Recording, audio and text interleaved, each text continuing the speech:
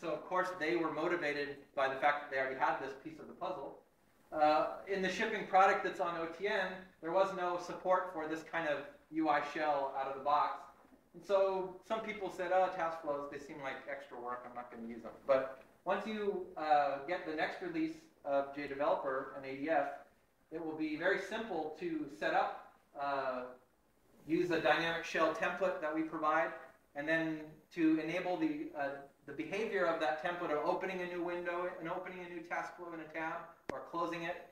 Uh, we have a, a, a, bean that we provide with some methods that can be called from EL so that at runtime, your uh, global tabs, you can have one or more of those, and then inside a given tab, you can open up one or more task flows that can allow users to be working on different, even multiple instances of the same task flow. Edit employee King, oops, get a phone call, have to go edit employee Smith.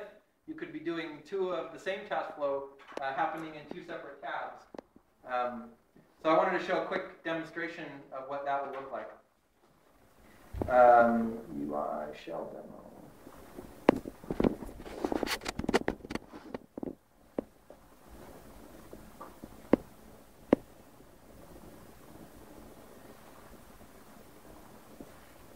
Ah, this timer is still going off every time.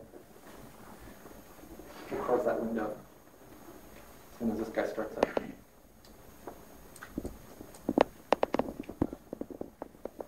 Okay.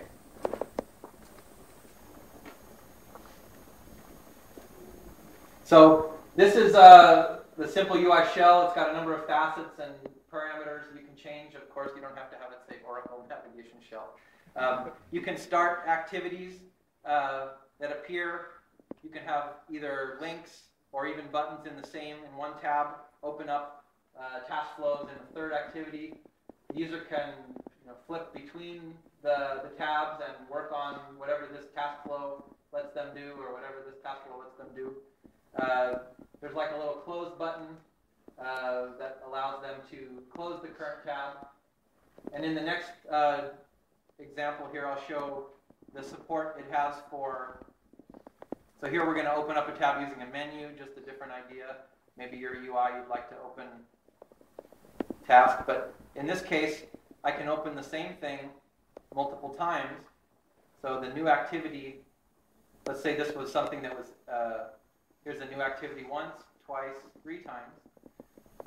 Here, if I click on button number two, it will dirty the tab so there's a little property it keeps track of to know if any work's been done in that task flow. And if I try to close a dirty tab, it's got some support in there that will, of course, you can change the wording. that's part of the, the template. Uh, yes, let's close it anyway.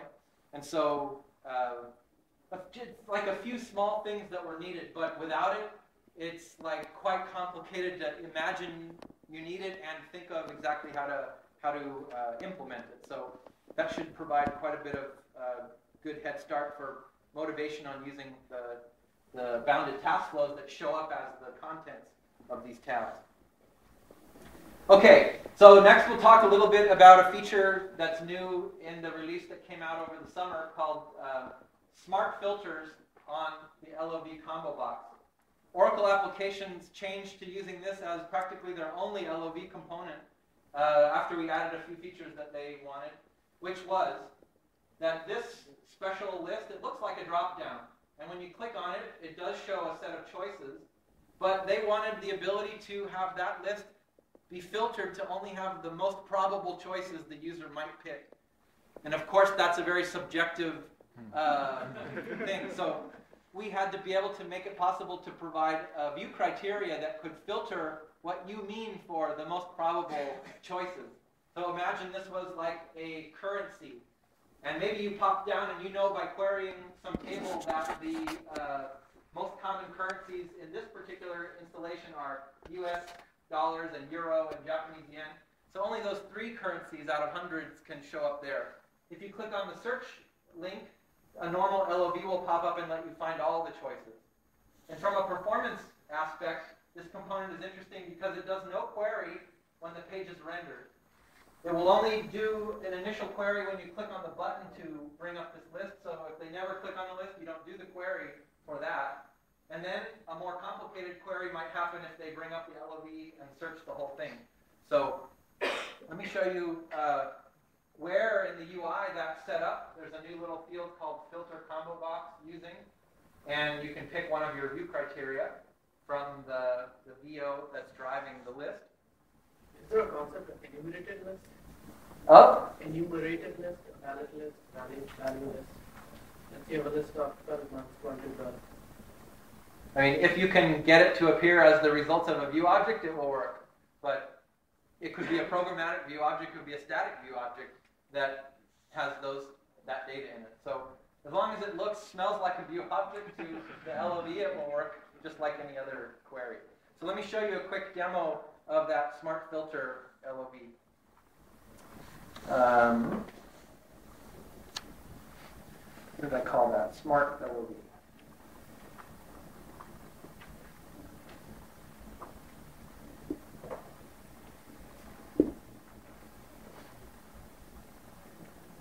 Okay. I'm going to talk ten minutes.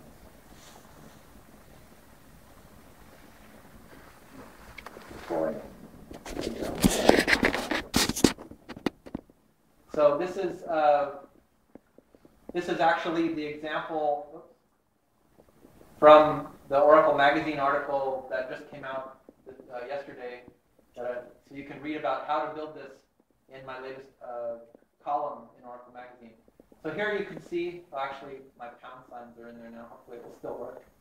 Um, if I type something like uh, res and tab out, I can use like auto completion like a normal LOV. If I click on the down button, my two choices that my filter has identified as being the smart choices are in the list, so I could pick operation. Or I can click on search and the whole LOV will come up. Let me find something like sales and oh, Okay, so that's just a quick example of the smart LOV. So a couple of anti-patterns to look out for. I noticed in some of the Oracle applications teams they thought they were inventing some clever uh, way to get reference data to display. Rather than um, including the, the reference department entity, for example, in your employee's view object to show the, depth, the DNAME and base a list of values on that, um, the, they instead figured out that if they defined a transient attribute for DNAME, that's a little bit like an Oracle Forms way of doing things, define a transient attribute and then create a view accessor that queries the other table with a parameter based on the, uh, the dep number, then it can use the second query and look up that DNAME instead of being part of a single join. So if they query a table full of 20 rows, they've done 21 queries, one to fill the table and 21 row queries to get the, the reference information. So that's, that wasn't a very smart idea. I got them back on the right track for that one. Um, another one that took me by surprise was someone had used a select one choice LOV that actually in their case had like a thousand choices, available choices in it.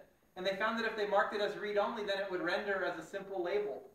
So they queried a thousand rows in the dropdown, and then it showed you know the appropriate department name based on the value, and then it rendered like a label, so it just looked like a nice lookup feature. But it was querying a thousand rows on every every single time the form would render. So that's another uh, anti-pattern. Okay, so I'll talk about, in the last few minutes, a few uh, miscellaneous uh, best practices. One is that when you create a view criteria, uh, there's a feature that maybe you've not used called selectively required, where you can mark certain attributes, certain view criteria items as being selectively required. And what that means is at least one of those items needs to be filled in by the user or we won't run the query. Typically, you mark the columns that you know have indexes on them. So at least one indexed field is part of the query. Otherwise, the app will refuse to execute, telling the user, like, you know, come on, work with me. I need you to enter at least one of these selectively required fields. So that's a, a, feature to be aware of that can make a big difference on performance since it won't allow your users to do queries that whose performance will be terrible.